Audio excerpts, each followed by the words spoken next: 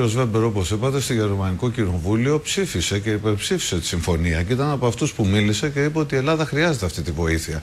Δεν ξέρω στο Ευρωκοινοβούλιο αν ο κ. Τσίπρας τον προκάλεσε και του έγιναν αυτές οι ερωτήσεις οι οποίες δεν μας τιμούσαν. Έτσι αλλά λέτε. δεν μας τιμούσαν, διότι κοιτάξτε, α, και, ακόμα και στο ΕΛΚ, ακόμα και στην αριστερή ομάδα υπάρχουν οι δικές μας εθνικές απόψεις. Υπάρχει η ταυτότητά μας. Δεν σημαίνει ότι μετέχουμε στο ΕΛΚ ότι όλοι συμφωνούμε. Συμφωνεί ο κ. Τσίπρας με όλη αυτή την αριστερά η οποία δεν ψήφισε και όλα στα δικά τους κοινοβούλια τη συμφωνία. Άρα λοιπόν είναι μια μάχη, πράγματι, μια ζήμωση η οποία γίνεται, μια συζήτηση η οποία γίνεται και προσπαθεί ο ένας με τα επιχειρήματά του να πείσει τον άλλον. Αλλά ακριβώς επειδή, κύριε Σρόιτερ, με ρωτήσατε γι' αυτό, απαντώντας και στον κύριο Τσίπρα που επέρεται τόσο πολύ για το χρέος και μας είπε ότι η Νέα Δημοκρατία δεν έλεγε ότι το χρέος είναι βιώσιμο ή δεν είναι. Να σας πω ότι σαφώς με τα πλεονάσματα που προβλέπαμε εμείς και με την αύξηση του ΑΕΠ η οποία υπήρχε, το χρέος ήταν βιώσιμο.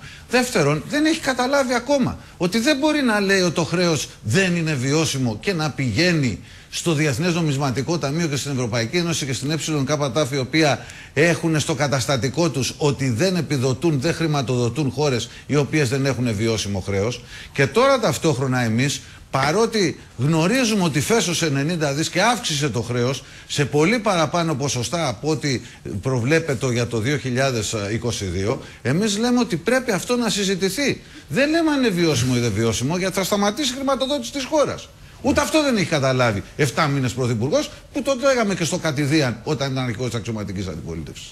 Είχα τη συμφωνία εδώ και στο προηγούμενο debate των αρχηγών και του την έδειξα του κ. Τσίπρα να ξέρει τι έχει υπογράψει. Πρώτον, αποδέχεται η συμφωνία ότι είχε γίνει κούρεμα με το PSI των 100 δις. Δεύτερον, αποδέχεται η συμφωνία ότι στο Νοέμβριο του 2012 στη συμφωνία υπήρχε η ρήτρα για την αναδιάρθρωση του χρέους. Και αποδέχεται ο ίδιος, υπέγραψε ότι δεν μπορεί να γίνει κούρεμα. Παρά μόνο αναδιάρθρωση. Όλα αυτά που μας έλεγε το Γενάρη τα ξέχασε. Γι' αυτό σας λέω ότι έχει πάθει μετάλλαξη από τότε που υπέγραψε το μνημόνιο. Από τις 14 Αυγούστου και μετά είναι άλλος Τσίπρας. Εγώ δεν τον αναγνωρίζω. Δεν μπορούμε να μιλήσουμε μαζί και να πει μια αλήθεια.